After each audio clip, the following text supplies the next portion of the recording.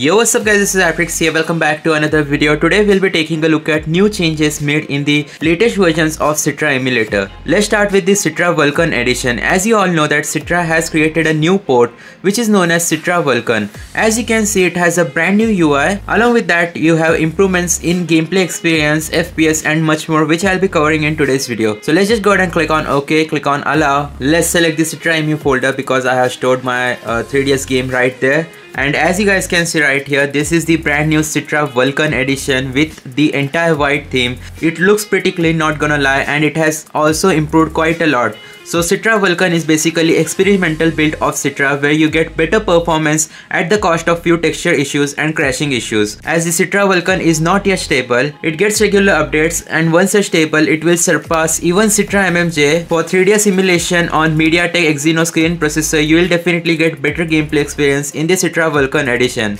Let's click on settings and check out all the uh, general settings like disabling the enable speed percentage limit. Let's go to graphics and make sure graphics API is Vulkan. Enable SPIR V shader generation, asynchronous shader compilation, internal resolution we can set it to 3x let's do that because this is OnePlus 11 bro. Literally Snapdragon 8 Gen 2 processor on this Android device.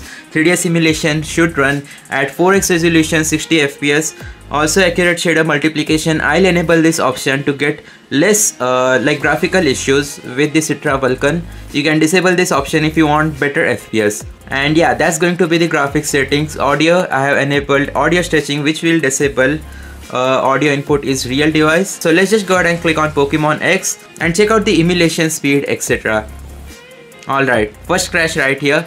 Let's click on don't allow again. Press back to access menu. So let's just go ahead and do that.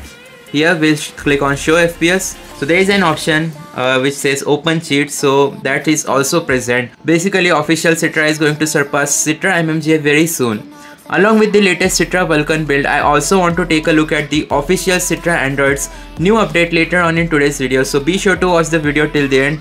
Let's at least check out Citra Vulkan Edition's development. Like there are a lot of graphical issues which I can see already. So let me know in the comment section down below by testing this game for yourself. I'll disable uh, these options, set the internal resolution, disable linear filtering. Yeah, that's going to be it let's go back. Yeah the graphical issues are still not fixed. So i think it's problem with my device uh, because uh, Citra Vulkan ran very well on my Android tablet previously. So let's switch to the official Citra Android's new version where there has been similar changes with the UI. Let's click on don't allow and click on OK. Along with that there is a new impressive change which lets you uh, directly emulate games from your SD card. So if you have stored games on your SD card, I don't think phones nowadays come with SD card slot but if your phone does have a slot, you can directly emulate games stored in your SD card. Let's go to settings. Here you cannot change the graphic API. It's default to OpenGL. Enable linear filtering by the way, Citra Vulkan edition is really good on low-end devices so I definitely recommend you guys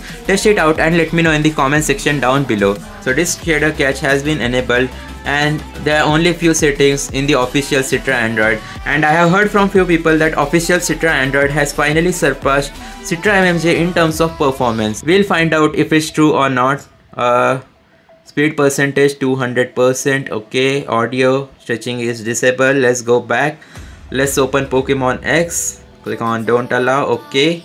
Immediately you can see there are no graphical issues uh, with this build of citra emulator. Let's click on show fps uh, we have screen layouts too. Default screen layout is one large screen and you can change it to single screen like this. So let's see how well does snapdragon 8 gen 2 handle 4x resolution 3ds emulation 41 fps 52 fps i think it should reach 60 fps quite soon.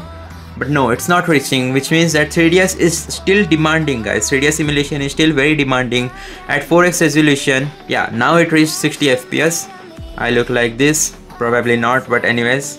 Alright let's find out how stable is actually 3ds emulation now on official citra android along with the gameplay performance experience in 4x resolution this game is looking really good by the way not gonna lie uh, OnePlus 11 comes with 2K display so with that enhanced resolution uh, while emulation the game is looking pretty crisp just take a look at these textures boys we are getting around 45 fps very decent. There are a few stutters here and there which is surprising considering that we are emulating this game on a very flagship Android device. I don't know why my camera is out of focus but let's go outside and we are getting about 100% speed over 100% speed. So let me know in the comment section down below what you guys think about this latest update of Citra emulator android.